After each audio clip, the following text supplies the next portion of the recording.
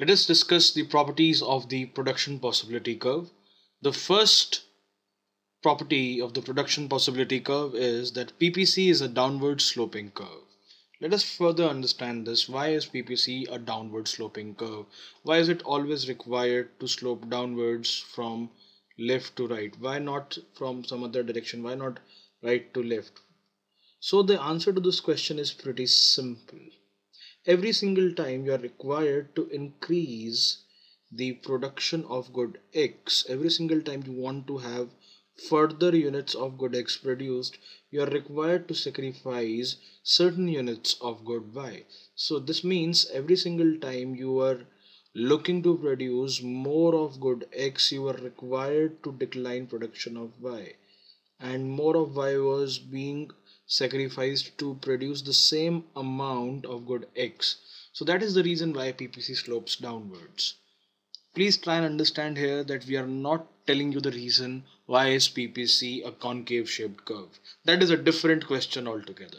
Over here we are simply trying to understand why is PPC sloping downwards. It is simple, it's a relationship, it's a negative relationship. Every single time x is, x is to increase, y has to decrease. Moving on, the second property of the production possibility curve is PPC is concave shaped curve. That is PPC slope which we know is MOC is increasing. And since MOC is increasing that makes the PPC concave shaped. Because had it not been concave shaped PPC wouldn't look like this. PPC would look much different right so the second property that you need to remember is PPC is concave shaped.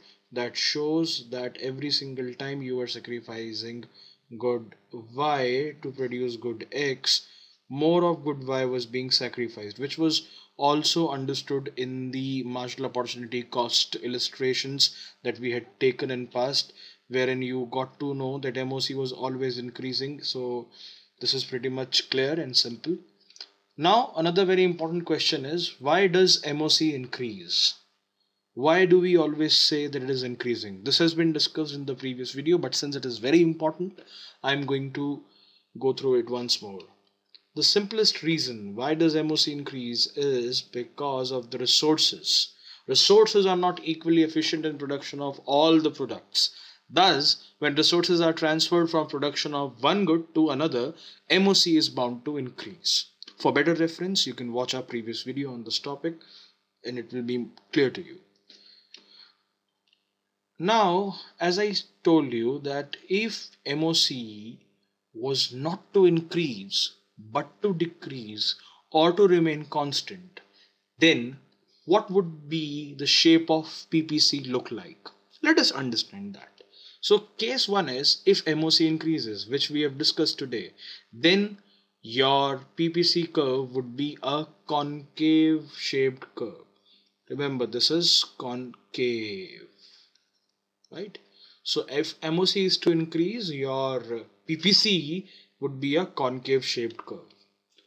If your MOC is to decrease if it is to decline then this is how your PPC would look like. Over here your PPC curve is convex and it can only look convex if your MOC is to decrease can PPC be a straight line also? The answer is yes. It can be a straight line. PPC can be a straight line. But for that, your MOC has to be constant. So, if your MOC has to be constant, then your PPC would be a straight line, which would of course be falling. Over here, this is not decreases, this is constant. Please mind that. If MOC is constant, then your PPC is a straight line. These five, six, seven.